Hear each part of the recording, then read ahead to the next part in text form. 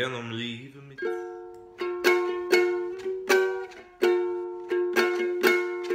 Jeg fylles av mildhet og fred når jeg vasser ut i det fritt.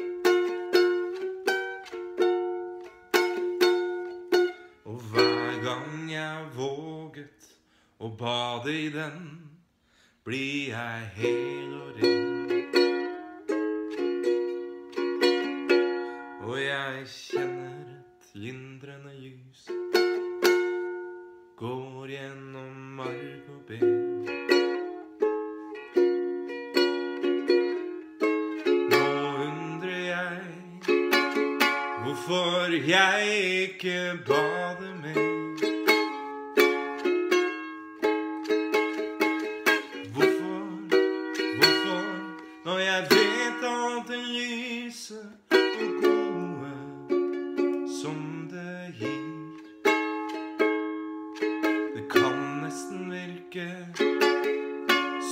Jeg prøver å unngå den. At jeg føler meg redd for nåden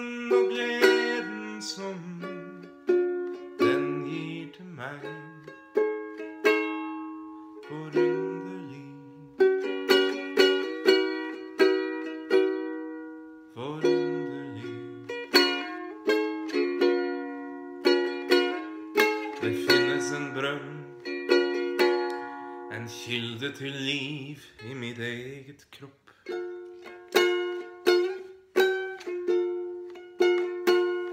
Når jeg har drukket av den, fylles jeg av klarhet og nytt håp.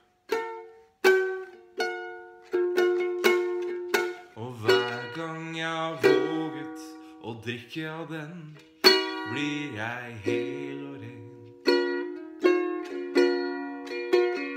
Og jeg kjenner et lindrende lys gå gjennom marg og ben. Nå undrer jeg hvorfor jeg ikke bader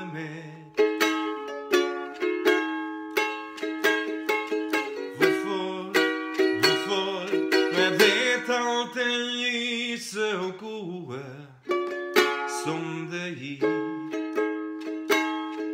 Det kan nesten virke som at jeg prøver å unngå den.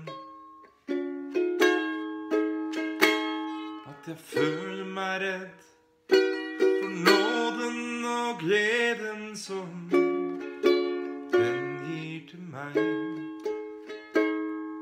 Forunderlig.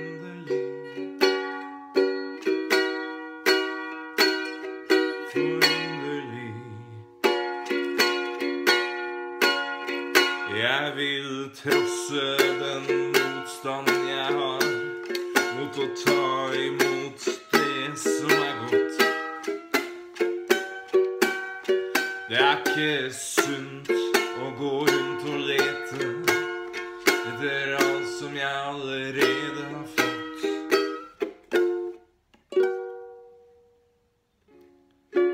Og nå undrer jeg hvorfor jeg ikke bader mer.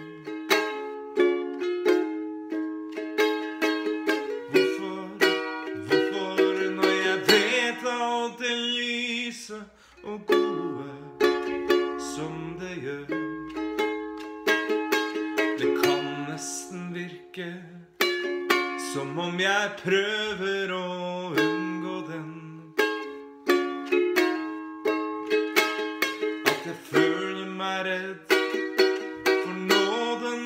Gleden som